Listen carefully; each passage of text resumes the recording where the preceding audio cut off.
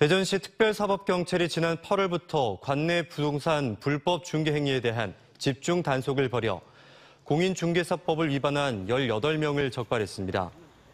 단속반은 사업 등록을 하지 않고 중개 업무를 하거나 명의를 빌려 중개 영업을 한 중개보조원과 명의를 빌려준 공인중개사 등 8명을 검찰에 송치하고 중개 대상물 확인과 실명 의무를 위반한 5명, 표시, 광고 명시사항을 어긴 2명 등 10명은 자치구의 행정 처분을 의뢰했습니다.